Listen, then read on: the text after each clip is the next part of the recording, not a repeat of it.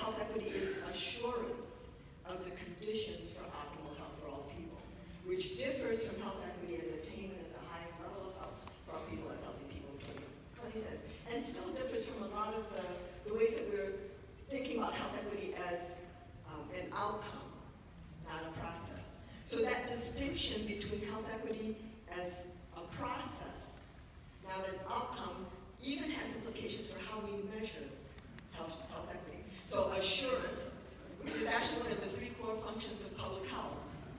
identified by the Institute of Medicine along with assessment and policy development, assurance of what of the conditions for optimal health, the social determinants of health that all of us talk about, for whom, for all people, that makes it health equity. So already in that, uh, the, the inkling you have about when you identify those states that where people are doing the best by different ethnic groups or whatever, what are the conditions for that? That's how we can figure out what those conditions are. But the measurement of health equity becomes now a measurement about structures, policies, practices, norms and values, about process, decision-making, assurance. It doesn't become really a measure about outcomes.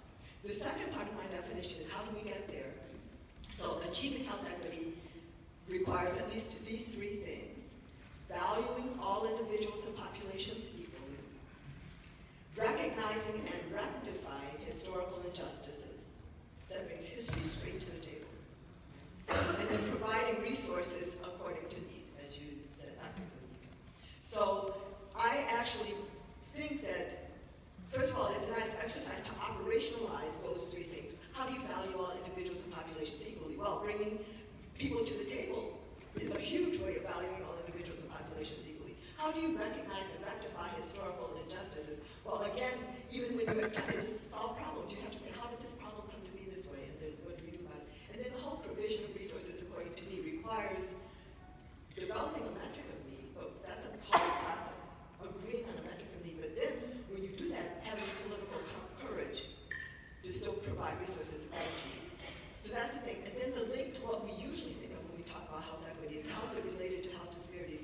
So in my mind, health disparities will be eliminated when health equity is achieved. So what we usually measure these differences in outcomes is measuring the how close are we getting to health equity, but the health equity itself is not the differences in outcomes. The health equity is the assurance. It's a, assurance can be by a lot of actors. But assurance usually is like is a governmental function,